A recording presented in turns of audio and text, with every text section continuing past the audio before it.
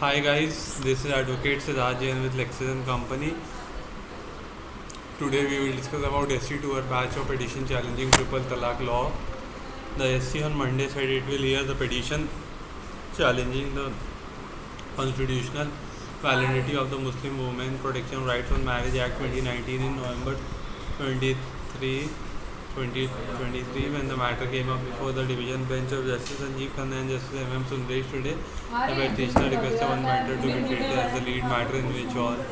pleadings would be completed accordingly. The court ordered WPC Ahmed Acha Neem Adni versus Union of India to be treated as the lead petition which for all pleadings to be filed in the said matter, the Apex Court granted judgment dated August 22, 27 in the right of Bhainovas the Union of India declared the lack of biddat or any similar form of talaq having the effect of inheritance and you know rule irrevocable one point by Muslim husband and constitution.